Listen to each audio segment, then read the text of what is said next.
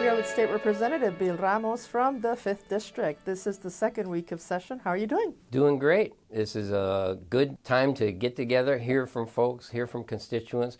I love it when people reach out to either by email or, or drop in a note or coming to testify.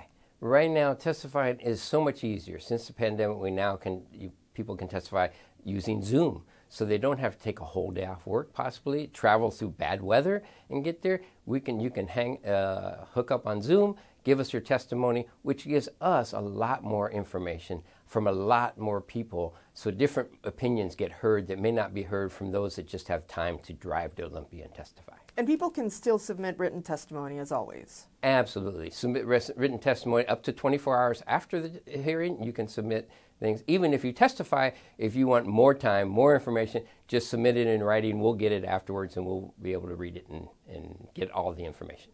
So, this is a short session. Uh, you have a dump bill. Now, talk to me about that.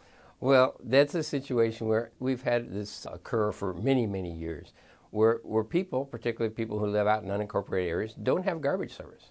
And so they are responsible to take their own garbage, pile it up, take it to the dump as, as they see fit.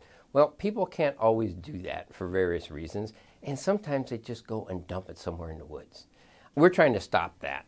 Right now, that is a criminal charge. You could go to jail for that.